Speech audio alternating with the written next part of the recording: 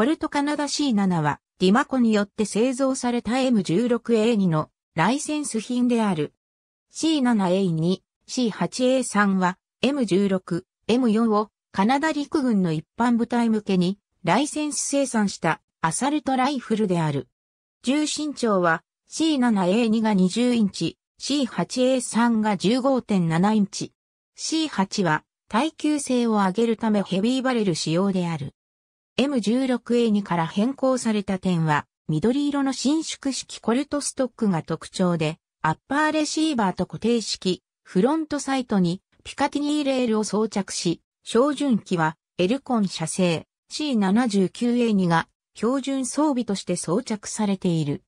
M16A1 に準じたものになっており、コルトカナダ社製 M203A1 をハンドガードごと交換して装着することが可能である。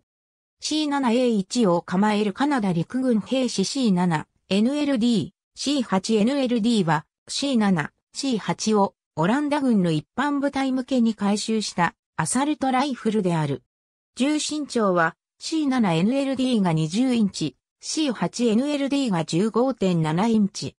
茶色の伸縮式化ストックが特徴で、アッパーレシーバーとハンドガードにピカティニーレールを装着し、照準器はエイムポイント社製 COMPM4 が標準装備として装着されている。AG36 を装着することが可能である。アフガニスタン国内でパトロールを行うカナダ陸軍兵士 C7A2 を装備している。GVM10 は C7、C8 をデンマーク軍の一般部隊向けに改修したアサルトライフルである。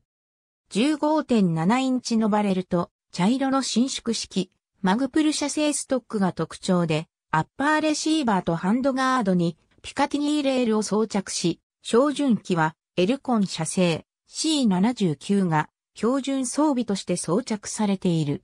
GRKM10 を装着することが可能である。C7CT は C7 を改良したマークスマン用のセミオートスナイパーライフルである。射撃時の安定性を上げるため、重心の材質を軽いアルミ合金製から重量がある単一素材の金属製重心に変更した。また、バイポットを取り付けられるように、ハンドガードの位置を下方向に移動している。L119A1 を構える第43コマンド艦隊防衛グループの兵士。C8SFW は C8 のカービンモデルである。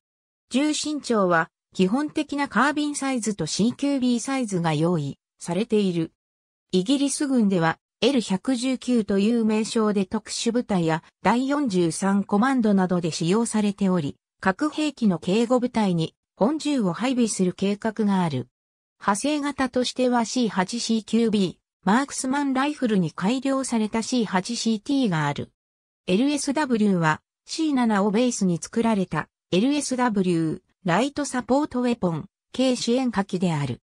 動作方式を M16 系列で使用される、クローズドボルト方式から、軽機関銃などの分体支援火器に採用される、オープンボルト方式に変更。また、ハンドガードが角が丸い四角形となり、仮面に固定グリップが追加されたものになっている。カナダ陸軍での採用はなかったものの、デンマーク陸軍とオランダ海兵隊に採用されている。ありがとうございます。